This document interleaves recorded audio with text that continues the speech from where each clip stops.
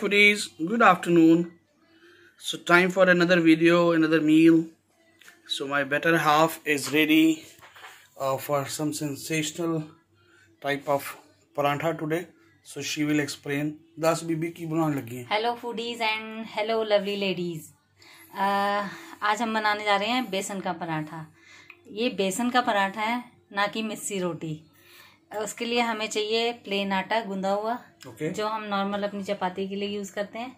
साथ में सूखा आटा। हम्म। और जो स्टफिंग है हमारी वो बेसन की है। ये मैंने बेसन लिया है। हम्म। इसमें मैंने सिर्फ़ नमक और लाल मिर्च डाली है। ओके। लेकिन इसको मैंने जो इसकी पेस्ट बनाई है वो पानी से नहीं बनाई है वो मैंने तेल से बनाई है।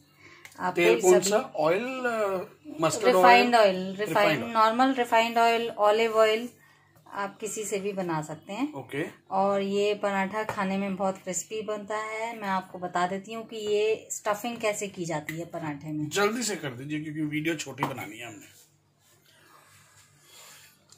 आ लिया पेड़ा तूड़ा लाता आ गोल गोल वट लिया।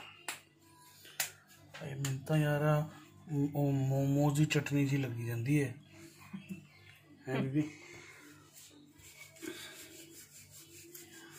ਓਕੇ ਆ ਪਰਾਂਠਾ ਵੇਲ ਲਿਆ ਆਪਾਂ ਹੁਣ ਇਹਦੇ ਅੰਦਰ ਆਪਾਂ ਭਰ ਦੇਣੀ ਹੈ ਇਹਦੀ ਸਟਫਿੰਗ आप एक पराठे में तकरीबन एक चम्मच के करीब इसकी स्टफिंग जो है जाती है ਓਕੇ इसको आप ऐसे हाफ पराठे में फैला लीजिए ओके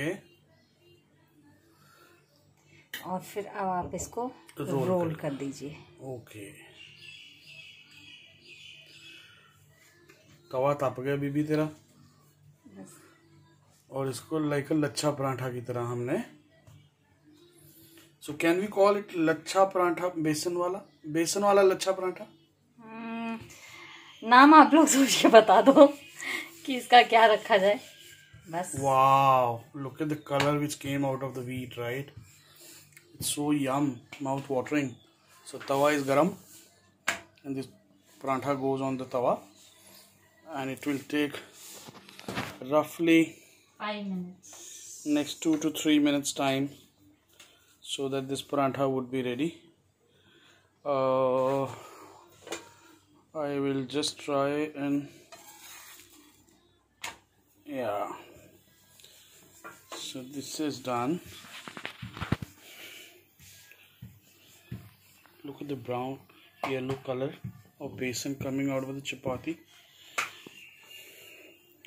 ਸੋ ਆਪਾਂ ਇਹਨੂੰ ਦੇਸੀ ਘੀ ਨਾਲ ਵੀ ਸੇਕ ਸਕਦੇ ਹਾਂ ਨਾਰਮਲ ਰਿਫਾਈਨਡ ਆਇਲ ਨਾਲ ਵੀ ਸੇਕ ਸਕਦੇ ਹਾਂ ਮੱਖਣ ਨਾਲ ਵੀ ਸੇਕ ਸਕਦੇ ਹਾਂ ਮੱਖਣ ਨਾਲ ਥੋੜਾ ਜਲ ਜਾਏਗਾ ਓਕੇ ਕਿਉਂਕਿ ਮੱਖਣ ਜੇ ਤੁਸੀਂ ਮੱਖਣ ਨਾਲ ਕੋਈ ਵੀ ਮਤਲਬ ਮੱਖਣ ਨਾਲ ਤੁਹਾਨੂੰ ਰਿਫਾਈਨਡ ਆਇਲ ਥੋੜਾ ਜਿਹਾ ਮਿਕਸ ਕਰਨਾ ਪੈਂਦਾ ਜੇ ਤੁਸੀਂ ਖਾਲੀ ਮੱਖਣ ਪਾਓਗੇ ਤੇ ਮੱਖਣ ਜਲ ਜਾਏਗਾ ओके आप हम इस लाता थोड़ा जा घ्यो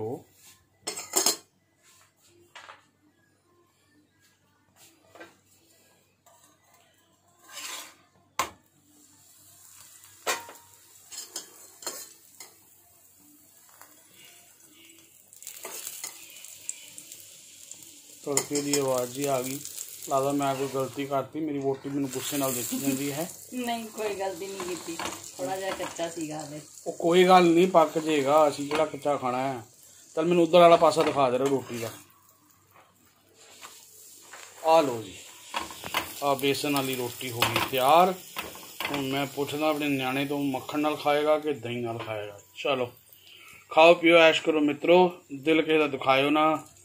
Stay home, stay safe, take care. God bless you all.